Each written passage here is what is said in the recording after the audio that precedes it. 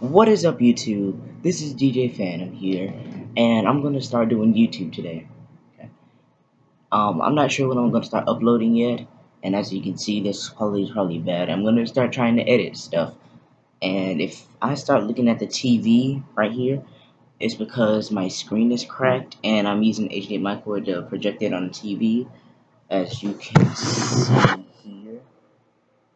Pretty weird, right? But this isn't my room, this is my brother's room. I just wanted to do this to get a quick update on I'm going to start YouTubing. So hopefully this will be a good video.